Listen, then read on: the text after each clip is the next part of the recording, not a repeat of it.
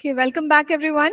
Um, we'll get back into our subject, and I know we have a lot of questions about what we've been saying that God has given us complete authority here on earth, and we as believers now have it through Jesus Christ, and we must exercise it. Uh, when we look at scripture, also, we find that there were men and women who understood this even before the Lord Jesus paid the price for our sins and redeemed us, um, the understanding about prayer was there among a lot of uh, people. So, one good example is Elijah. Okay, Elijah. And um, how did Elijah uh, commune with God? So, in First Kings chapter 17, we see that God gives Elijah a word so god speaks to him like how uh, you know prem was saying that uh, god's purposes he already reveals he has plans for us. So god gave him a word and said uh, it's going to rain. So they were going through a time of um, a drought and they were waiting for rain. So here comes the promise of god through prophet elijah. So we know elijah was clear and sure that it is going to rain he goes and he tells uh, King Ahab, it's going to rain, prepare for rain. Okay, now think about this. God has already spoken, God has already revealed his purpose. God has already put a word in Elijah's heart. He got an image, he got a picture, he understood this is what God wants to do in the land. And he is informed also. But there is no rain. He's informed. But where is the rain? It didn't start raining. So what do we see Elijah do? Elijah goes, he puts his head between his knees. First Kings chapter 18, he starts to pray. Okay. Now we can ask Elijah the question, Prophet Elijah, why? Why are you praying? God already said no. It's going to rain. There is no need for you to pray. But Elijah had revelation. This is how God works. There's something about prayer, something about the design of prayer, something about engaging with God even after God has revealed his purpose. Plan, God's plan clear. We know what God wants. God wants rain. What is Elijah doing? Praying. How much is he praying? Prays once, tells his servant, Go, see. Anything? Any results? Servant comes back. No, sir, nothing. We can't see anything right now. He says, Okay, no problem. I'll pray some more. Pray some more. Right? Sends his servant, go, see any results? Comes back. He says, No, sir, nothing. But look at this. Not only did he have a revelation of prayer, but he had a revelation of persistent prayer. He doesn't give up. God said it, it's not happening. God wants me to pray. I won't stop praying till I see what God promised. How's that? Amazing, isn't it? So Elijah is exercising his God given authority. What we are talking about. He knew God wants me to do something to fulfill his purpose. What is that? Prayer. So he's praying. He prays seven times. Okay, seven times. And finally, there's a small manifestation of the promise of God. He sees a small cloud and now he's convinced it's happening now. The manifestation is happening now. But what is there between God revealing his purpose and the manifestation? The prayer of Elijah. Okay? So God wants us to pray. And that's something we have to understand. Yes, we know God's plans, God's desires. Okay, amazing things God wants to do in our lives. But we have to pray. Okay? Think about um, Daniel, a man of prayer in the Bible. We will keep talking more and more about him uh, as we go further. But Daniel also had a revelation about prayer. And he spent a lot of time in prayer. He committed his life to praying. And we notice that he uh, knew about the captives who were held up in Babylon. So we know God's people were captives in Babylon, uh, and there was a prophecy about their release. Okay, so when Daniel was there, he is one of those captives in Babylon. He knows what God wants to do. He knew Okay, at the end of 70 years, there's got to be a release going back from Babylon. Uh, and be- even though he knows the purposes of God, you know what Daniel did? He started praying. He started praying and he started telling God, God, you spoke through the prophet, the prophet Jeremiah, that after 70 years we are going to leave this place. It's almost time now, and I'm praying. It has to happen. So even Daniel prayed to see the fulfillment of God, not just in his personal life, but in his nation. In his nation. He held on to the words of God and prayed it through for the word to manifest in the nation. So, what does all this tell us about God and prayer? Prayer is essential, essential for us to see the purposes of God manifest. This is how God works. Okay. Yes, God is all powerful. As we've been saying, we use the word sovereign, sovereign, and yet He chooses to work through us. Now, one very important thing for us as believers to remember is that uh, we have the power of God working in us, and we've been given the authority of Christ. The way we see Elijah praying and seeing full, uh, the purpose fulfilled, Daniel praying, purpose fulfilled. The church is supposed to pray to see God's purposes fulfilled in our time and in our age. Uh, there are many scriptures, you know, scriptures uh, like Romans chapter 8, verses 16 and 17, that tell us that we are now God's family. You and I, we are sons and daughters of God, and we are also, scriptures say that we are joint heirs, heirs with Christ. Who are heirs? You know, heirs are people who uh, who carry a blessing that's been passed on by uh, the, the parents, right? So they have inherited blessings. And so we are those heirs of God. And that's a big thing that now we can carry that authority and those blessings. Uh, okay so when we look at ourselves let, let's not look at ourselves as being very weak. Oh if i pray why will god even listen? No he has given us the authority not just as uh, people who are created in his image. Yes adam and eve got uh, the authority from christ uh, from god when they were created.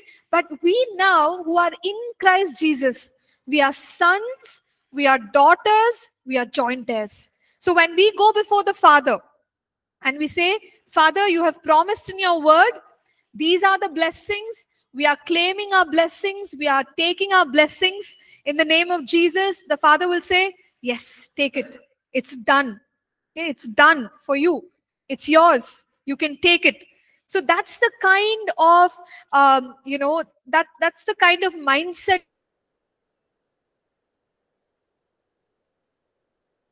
that we must have when we go in prayer.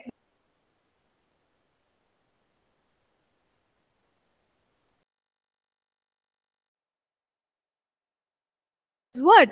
When we understand that God has already promised, I am a joint heir, I am going to the Father, I'm going to ask the Father, and God, Father will grant it to me. Our prayers will be prayers that are bold, that are confident, right? Because we know who God is, and we know who we are. So that's who we are in Christ. And that's who we are when we go in prayer. We've been given, uh, you know, those blessings and we've been given that position. And even there are other scriptures. In Matthew 16, uh, Jesus said, I give you the keys of the kingdom. I give you the keys of the kingdom. Anyone carrying any keys today? If you are, don't lose it. Okay. so uh, keys are so important. Keys are so important. You lose one key you lose access to an entire you know home or a building or something. Keys are so important. So what does a key uh, symbolize? Key symbolizes authority. If you have keys to your house you have authority to that house. You won't give that key. Would you give it to any random person? Say okay take the keys Nobody will do that because you're giving away authority to your home. So, key is authority. And you know what Jesus said? Take the keys of the kingdom. How do you like it? How does that make you feel? Imagine Jesus is giving you the keys in your hands. Okay? Everyone, can you open your hand? Look at your hand and key refers to authority. It refers to authority. Okay. So if you can open your hand just now, and uh, I know you don't have like a physical key, but can you imagine Jesus is giving you the keys? You've got keys in your hands. I give you the keys of the kingdom. Okay, how many here? You have the keys of the kingdom? Okay, good. Good job. Everyone's, you know, got that point. I'm carrying the keys of the kingdom. What does it symbolize? Authority. Authority. We are carrying authority of the kingdom. And what did Jesus say? Whatever you bind on earth will be bound in heaven. Whatever you lose on earth will be loosed in heaven. So binding and losing is something we can do to release our authority. And we will come to it later on. So you and I have that capacity we can bind and loose, meaning we can allow, we can disallow, and ensure that God's kingdom is ruling and reigning on the face of the earth. So that's the kind of authority you and I carry sons, daughters, joint heirs. We have the keys of the kingdom. And, um, you know, Jesus also said, in my name, Mark chapter 16, he said, in my name you will cast out demons you know you you will uh, those who believe they will pray in other tongues they, even if they drink something that is poisonous you know that will not affect them so there are many things that we will do in the name of jesus now the name of jesus is also bearing authority just the way he gave the keys he says okay take i'm giving you the name of jesus so what do you have you have the keys you have the name of Jesus. Very powerful. Very, very powerful. Today, you and I, we have the keys and we also carry the name of Jesus. That means authority has been given. The church is spiritually strong. Jesus did not make the church spiritually weak and say, okay, you go into the world every day, you fight a battle, get beaten up, and I feel sorry for you. No. The church is powerful. Church is spiritually strong. Every son of God, every daughter of God, every child of God, each one of you sitting here, sitting with authority, sitting with the keys, sitting with uh, the name of Jesus that has been given to each of us. Now, having authority is one thing. We have to learn how to use the authority use the authority and we've been saying that you know when when the church begins to engage with the understanding of what we right now carry we will see powerful things taking place right? So the purposes of god what did we say? God put us in charge. So if something is not working who's god counting on? You and me. He says okay somebody's sick you pray. Something is going wrong, you look at the word and you find out what should be the solution to that problem. Okay, there are natural calamities, disasters. What can we do? What, how can we be creative? How can we come up with a solution? We can't blame God for everything and say, God, why? Why, why is this happening? So many of us do that. God, why are you doing this? God is not doing you know uh, he's not putting us in a place where uh, he's sure that we are going to fail no think about this he created us originally he gave us authority. Satan got that authority because man sinned. Jesus sacrificed himself to give us back the authority. And today we are sitting here as children of god with the keys right and the name of jesus.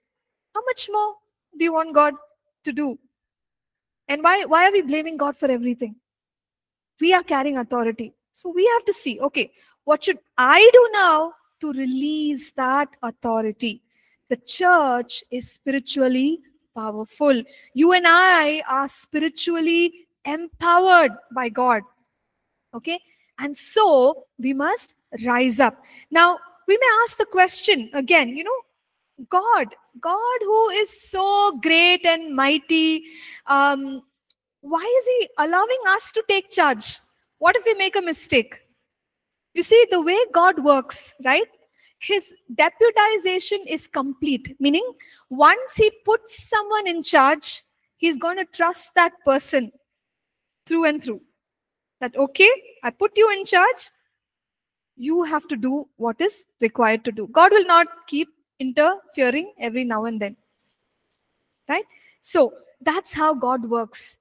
Um, and you know, there are there are certain uh, purposes of God uh, that you know those will anyway be fulfilled. Like if you take, for example, um, uh, Jesus coming to the world, and becoming our redemption price or uh, now we know that the the whole world is moving towards the end of times. There are many things that are happening around the world right? So all these things will anyway unfold these are all part of the purposes of god and then there are many other things that have been revealed in scripture for us now the church has to rise up who's the church one building who's the church I am the church. Can we say that? I am the church. Okay, you and I, we are the church. I am the church. We have to rise up, understand what is it that God has spoken in His word. That's why we are here to understand it. And then we pray that through. Then we, um, you know, work with it and we make sure that God's kingdom comes Okay, so that is the responsibility that you and I carry. And so God is going to, uh, in a way, you know, it, it sounds funny, but depend on us. It sounds funny because He does not have to depend on anybody, but God has chosen to depend on you and me. And He has put us in different positions and said, You do what I'm calling you to do. That's how this whole thing is going to work out. This is how my purposes will work out in the kingdom of God. So all of us are here co-working with God to unfold the purposes of God. And we will see how prayer plays a role in it. You know, good question which uh, uh, Prem asked us, you know, why should we pray when God already knows uh, what is going to take place? The invitation is from God. God is the one who said, You come to me, you speak to me, you talk to me, you ask me. Right? So when He is inviting, we are supposed to respond. Here we have a scripture from Jeremiah 29 and verse 12. I'm on page 8 in our notes, and it says, Then you will call upon me and go and pray to me, and I will listen to you. So, God is saying, Come, pray. I'll listen to you. I'll listen to you. Another verse there, Jeremiah 33, verse 3 Call to me, and I will answer you, and show you great and mighty things which you do not know. Call to me. Okay, how many of you calling God? Is he getting your calls? I hope so. Right? So make sure you're calling. We've got to be calling God uh, because he he's promising, I'll pick your call. Okay, I will answer you. I will show you great and mighty things. So these are Old Testament scriptures. How about the New Testament? No, even in the New Testament, um, we observe that Jesus taught about praying. Okay, we'll come to that uh, later on. But think about this. The disciples, they went and asked Jesus, teach us how to pray. Okay. Why did they ask him to teach them how to pray? Now, if we have someone in our lives, uh, we observe them, they're good at something. Maybe they're good at cooking, or maybe they're good at uh, sports or some sort. What will we do? Whatever they are good at, we'll go and ask them. We'll say, hey, teach me to cook or teach me to play this game because they are so good at it. Just think, disciples are with Jesus, right? day in and day out. They are observing him. All the time they're observing him. They could have asked him, Jesus, teach us to preach. Jesus, teach us uh, to heal the sick. He did all of that. He did a lot of that. We know. Why are they asking Jesus, teach us how to pray? Why? Hmm? Because Huh, okay. It contains authority and power. Okay, correct. Anything else? Any other reason why they asked only this and not anything else? Okay, sure, sure. Yes, yes. So, um, yeah. So that's a good answer also. Where uh, maybe they saw Jesus praying all the time so, Jesus, being the Son of God, is investing a lot of time in prayer. There's something about prayer, no? That if Jesus is praying, then we too need to pray. And so they go and ask Jesus, teach us how to pray. And then, of course, the Lord's Prayer, he goes ahead and he uh, talks about it. Yes, Daniel, you have a question? Okay. Good, good. Yeah, that's another answer. Maybe they were not doing it right because they saw the Pharisees praying and probably they prayed like that. And Jesus prayed differently, so they were asking him. Uh, it could also be that they saw results. Every time Jesus prayed, there was an answer. So they felt we should learn how to pray correctly from Jesus. For all these reasons, they asked him and he taught them how to pray. So even in the New Testament, uh, God is teaching us how to pray. That means we must pray. Okay. Uh, in Luke 18, verse 1, Jesus said this Men uh, should always pray and not lose heart. That means we must pray and not give up. We must pray and not get discouraged. Is it possible to keep praying and then, you know, become discouraged?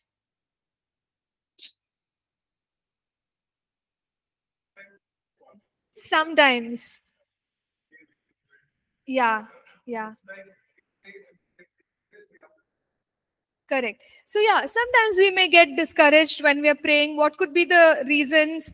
Uh, maybe there's a delay of some sort, or we are disappointed. You know, something else happened, or something like that, and uh, we may feel discouraged. But we are told that we must not give up. We should always pray. Never get discouraged. Always pray. And that's what God is looking for. And, you know, when it comes to, um, I use the word co working with God, co laboring with God. Know, God is almighty, but He's calling us to join His team. He says, okay, come, you be my partner. We'll work together. Right? We are co laboring with God. So, God invites us to pray, to seek Him, but he also invites us to co-labor with him in his purposes. Okay, so there is one particular scripture in Ezekiel chapter 22. Uh, in fact, the whole passage there from verse 29 to 31, where God decided to judge the people. And he's asking there in verse 30 So I sought for a man among them who would make a wall and stand in the gap before me on behalf of the land that I should not destroy it. But I found no one. So God is looking for how many people to pray? 50 people?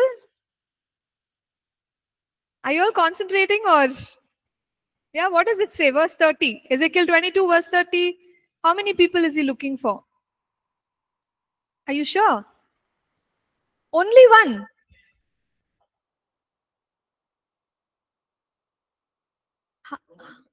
Half of the land. Okay.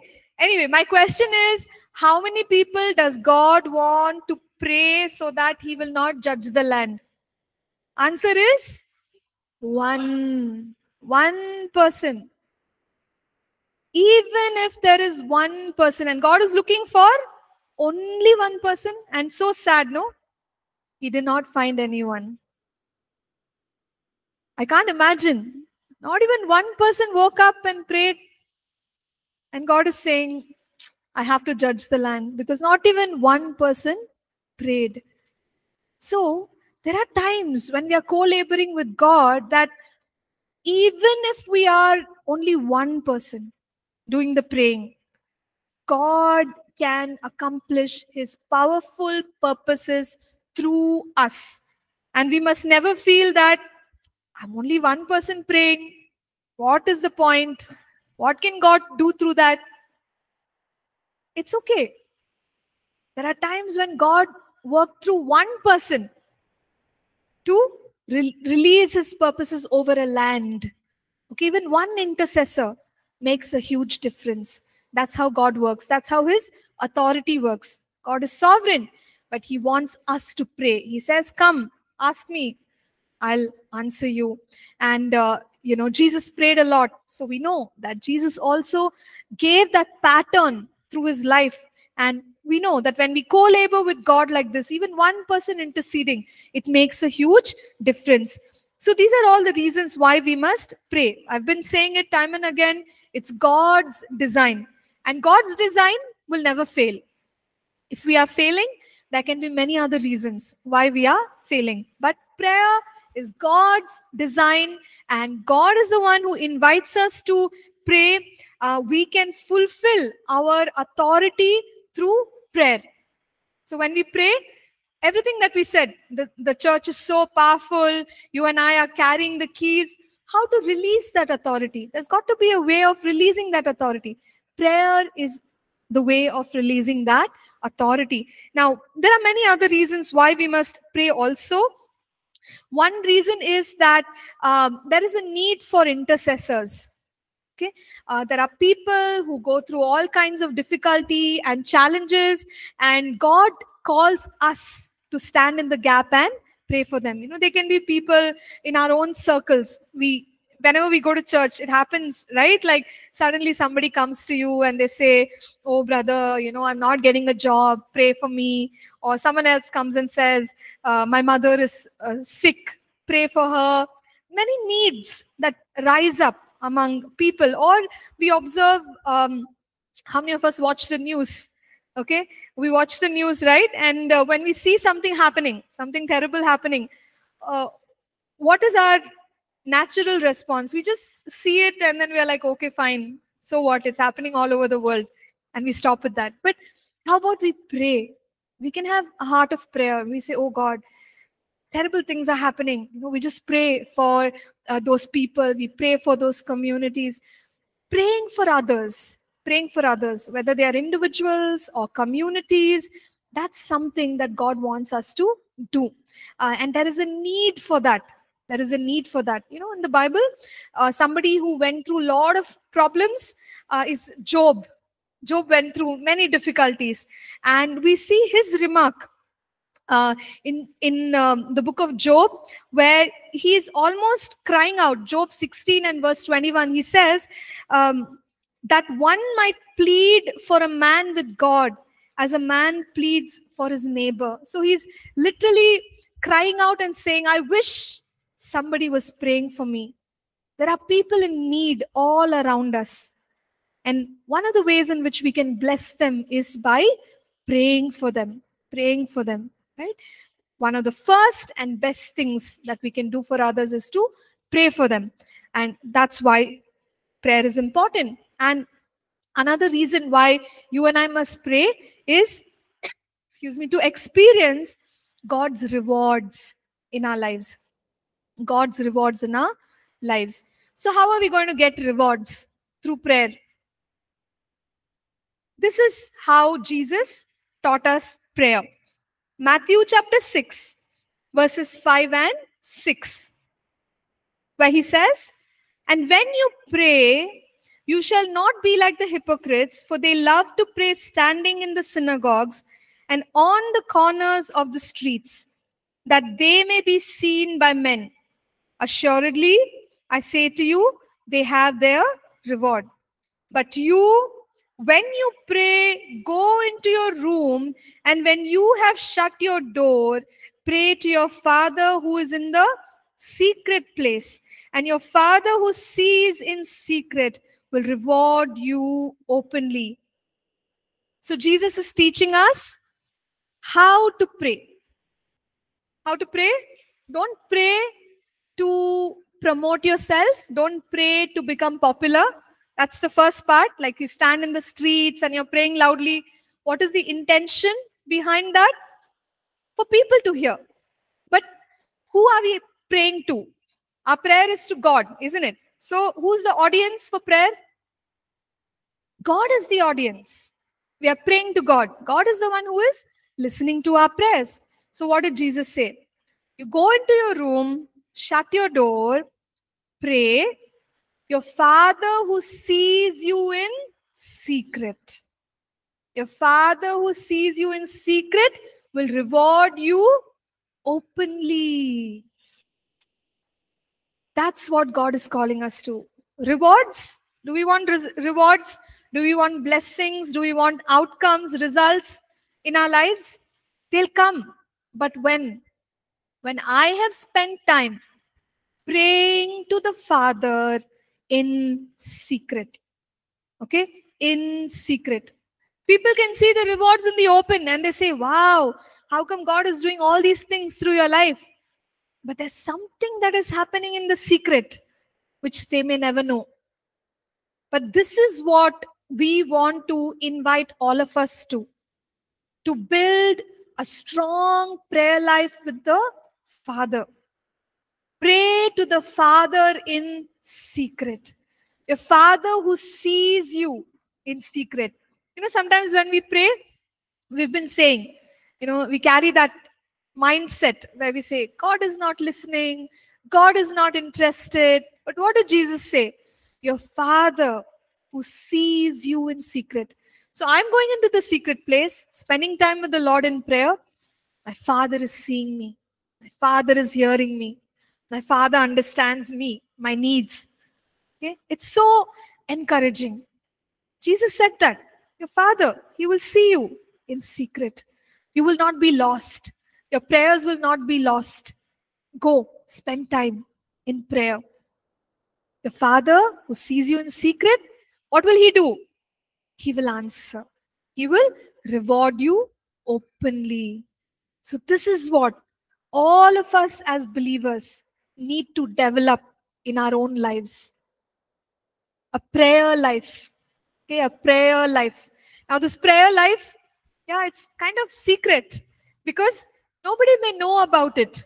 Right? We are generally the kind that want to be known. Today's generation, uh, yeah, want to be known instantly. That's why you have Instagram, right? Like, put it up. Anything that you're doing right now, the whole world has to know. I did this, I went here, these are my friends, this is my life. Okay? But what is Jesus calling us to? Come away. Come to the secret place. Is it easy? It's not easy. For our generation, it's not easy at all. We want to be popular, we want to be famous. It's tiring, it's difficult, it's frustrating to be in the secret place. Lord, nobody knows. Nobody knows what I'm doing. God says, Don't worry, I know. Okay? I am watching you. Your father who sees you in secret. God is watching because our prayer is to God. That's God's Instagram, maybe, right? So he's getting updates. And that's what we must be concerned about. Are we, is God getting my updates? And it's going to take a little bit of training. It's not easy. Our flesh will say, No, I can't take it. You know, it's very difficult. Don't do this to me. But we say, Flesh, you have no rights. Okay, you have no rights. My spirit man is going to rule and reign. So I will take time with my father in secret. And my father who sees me in secret will reward me openly. So build a prayer life. Build you know, that relationship, deep relationship with God.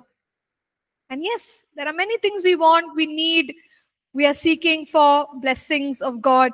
Everything will come. God has good plans for us, plans to prosper us, not to harm us, give us a hope and a future. Everything will unfold, don't worry. But here is what God wants from us He says, Come, come to the secret place Jesus taught us this. And so we know God's heart. God wants us to pray. He wants us to spend time in prayer, to release our authority, to be a blessing to others, to receive whatever we want in our lives, and of course, to deepen our relationship with God and receive His rewards. Now, what if we don't pray? Okay, this is our uh, next question. We understood about you know authority and why should we pray.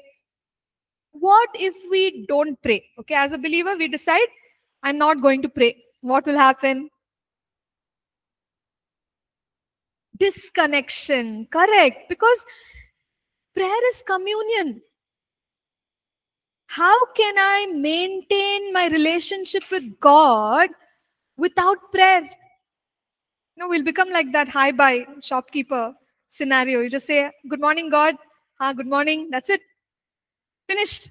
There's no deep relationship, disconnection. So, for us to build our relationship with God, we have to spend time in prayer. There's no other way. There's no shortcut to this.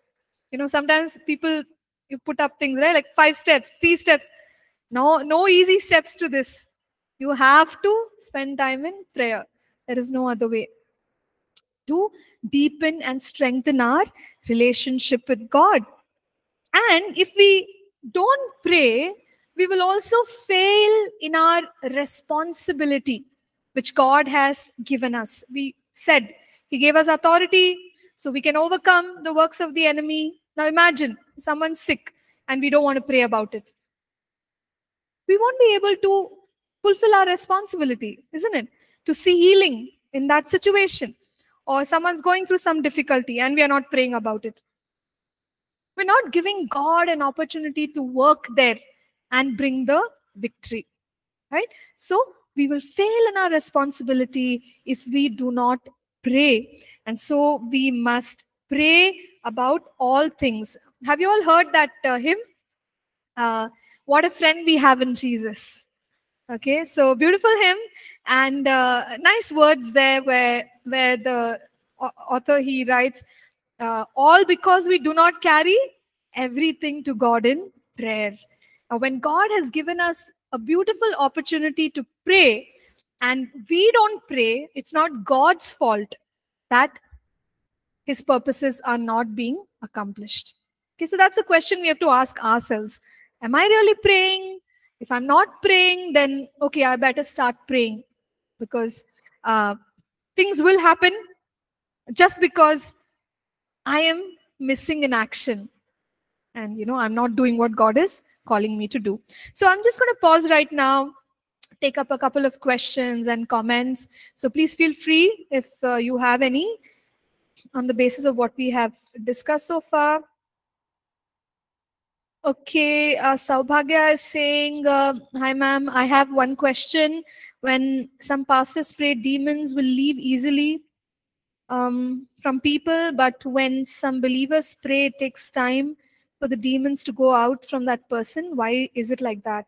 Okay, so it could be. So, Saubhagya, if you look at Matthew chapter 17, okay, in Matthew chapter 17, there is the incident of uh, um, the disciples trying to cast out a demon and they're not able to do it, right? Then later they come back to Jesus and they say, Jesus, why couldn't we do it? And then he says, This kind shall not go out except uh, by prayer and fasting. So, basically what jesus was trying to say is one must build their faith to cast out demons. What does prayer and fasting do? It builds our faith. So maybe they were lacking in faith and they were not able to cast out the demons the way jesus did. So even in this situation maybe maybe okay so i'm not saying exactly that's the reason but one of the reasons could be that you know the pastor was able to do because they are operating in faith and uh, those believers maybe they're new in casting out demons and uh, their faith is still not yet uh, you know strong enough. So that could be the reason saubhagya. I hope that answers your question. And shubham says why so many pastors and believers pray uh, is not so powerful as god wants us to be. Okay uh, shubham i didn't get the Why? Are you saying why are prayers not answered?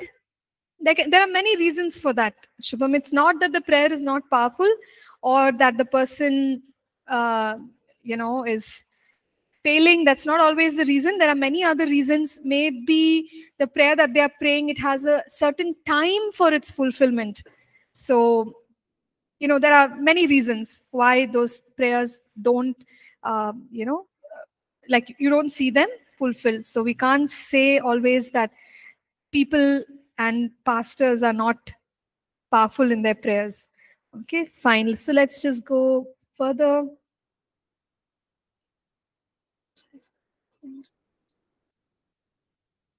Yeah. Um, Ricola says, what is the mind most connected to spirit or soul?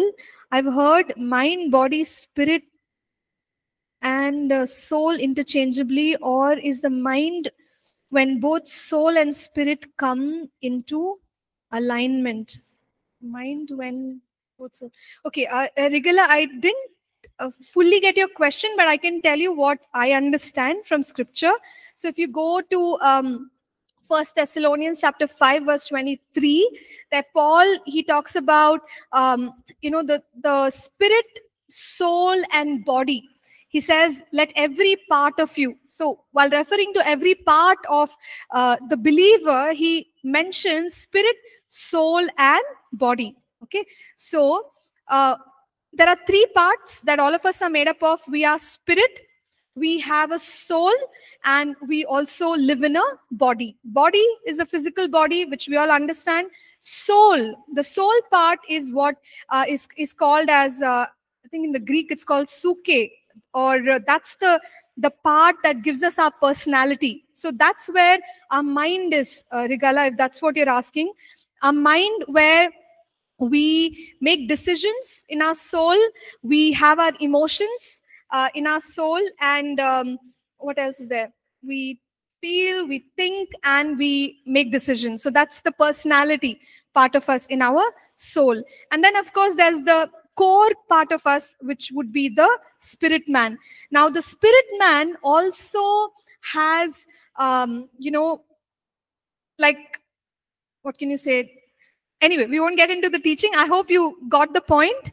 Okay. And I hope it addresses your question. So the mind that we are referring to is generally in the soul part of us. All right. Okay. Annie says, though at times when we pray in faith, prayers don't get answered. What may be the reason? So Annie, uh, as we've been saying, it can be a prayer of faith, but maybe it's not the right timing maybe it's not the right timing for you to get that answer.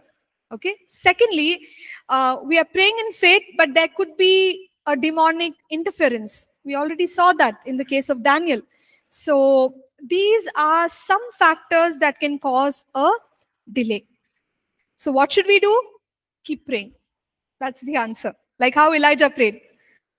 First time he prayed, no answer. Second time, no answer. Did he stop? No till you see the answer, keep praying because we are sure that it is the will of God.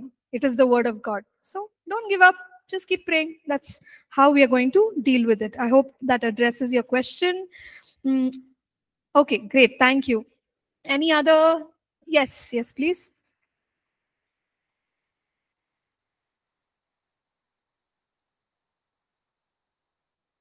Please. Yeah, we'll quickly pass the mic to you. Otherwise, we can't uh, hear. Thank uh, you. It's like uh, yeah, it's like one pastor or believer. He went for evangelism. He giving tracts to a village, yes. which they are non-believers were sitting. So one of the non-believer as questioning uh, is speaking like uh, uh, in the Bible. The beginning, it's related to just you said, na, that uh, God created Adam uh, and Eve uh, so, and God said, uh, be multiply. Then uh, this Cain and Abel uh, came. So that non-believer is asking the pastor uh, question like, how come uh, the Cain killed Abel? Then how come this multiplication happened? since you said uh, uh, God created humans, but they are believing like humans are came from monkeys. So they are like Hindus background. So they are questioning like this. So really, God created first uh, Adam and Eve, or in the side way, God created other humans also, like man and woman, Yeah. so that uh, girls will be there, boys will be there, so that Cain also find a girl and the multiplication may be happened. So what is the proof for that? Yeah, sure, sure. Yeah, I hope I can give you an answer. I'm just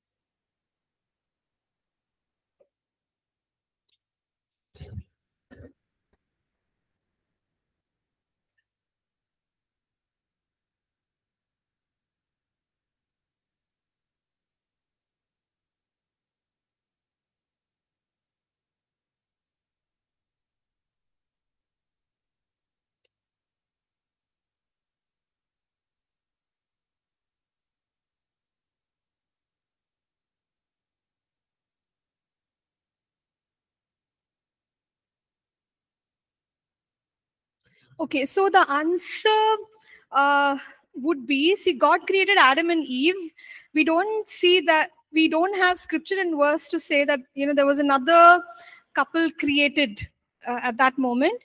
Uh, Adam and Eve had uh, Cain and Abel as uh, sons, and uh, Cain killed Abel, and then there's a third son, Seth.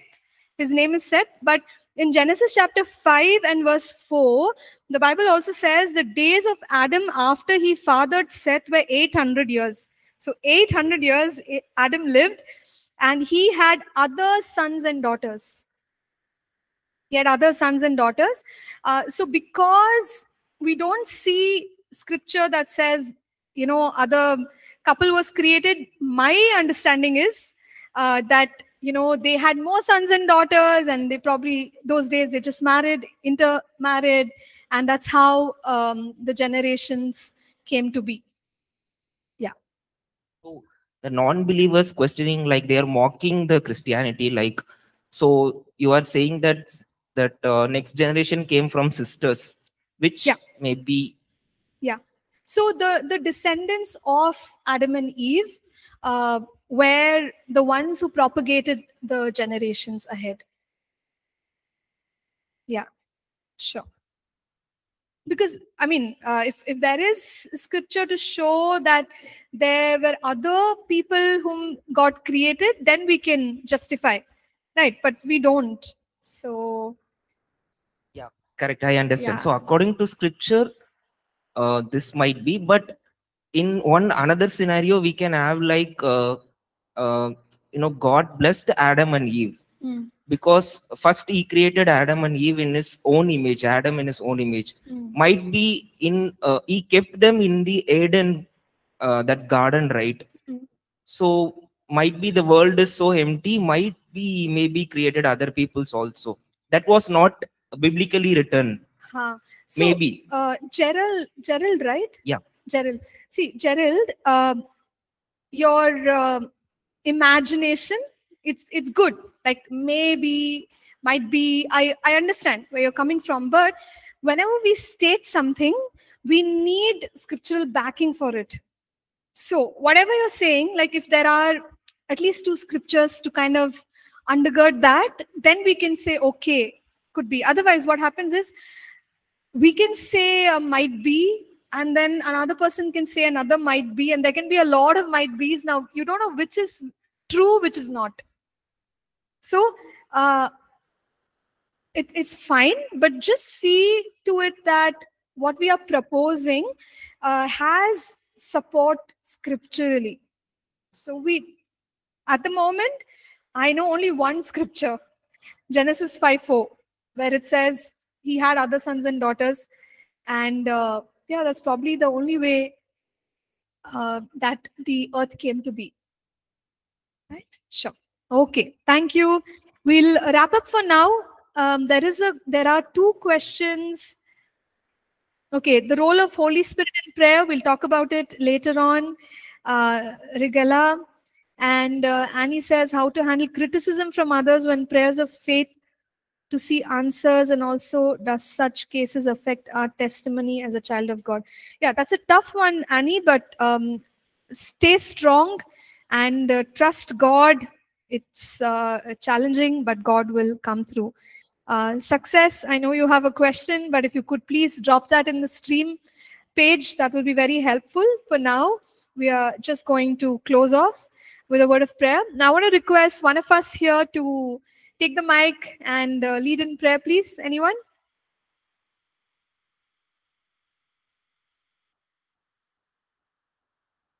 Gerald? Please pray. Yeah, Heavenly Father, we thank you for this day. Uh, Father, we came to you. Father, we have learned about prayer and intercession.